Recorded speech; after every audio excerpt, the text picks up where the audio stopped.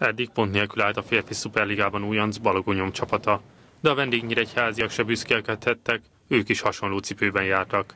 A szabolcsiak az elmúlt fordulóban, habár alul maradtak a sokkal esélyesebb Zalaegerszeg ellen, kifejezetten jó játékot mutattak be, sőt még világbajnokot is vertek. Így ezúttal a győzelem és a pontszerzés reményében vették Szombathely felé az irányt. A remény azonban gyorsan szerte fosztott, az összecsapáson ezúttal sehogy nem jött ki a lépés a nyíregyházi tékának.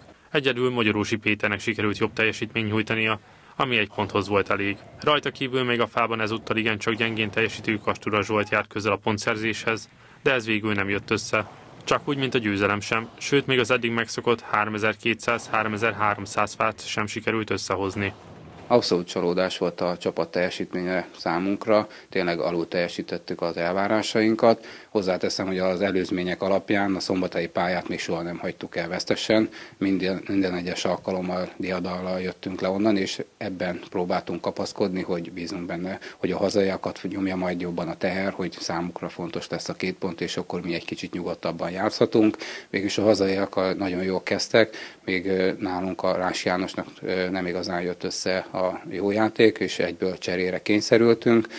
Magyarosi Péter hiába az 578 fájával jó játékkal pontot szerzett, de ez volt az egyedüli pontszerzésünk a belső pontokat tekintve, és innentől kezdve a hazaiak játékosai nyugodtan közel százfás előnyel dobhattak, játszhattak, egyesek a legjobbjaikat nyújtották, úgyhogy azt lehet mondani, hogy azon a napon egyáltalán nem voltunk partiban a hazai valógonyom csapatával szemben, és tényleg ami a csapatfánkat illeti, hogy még a 3200 fát sem sikerült elérnünk, ez mindenképpen csalódás volt számunkra, és így alakulhatott ki, hogy 7-1 arányú vereség lett a vége.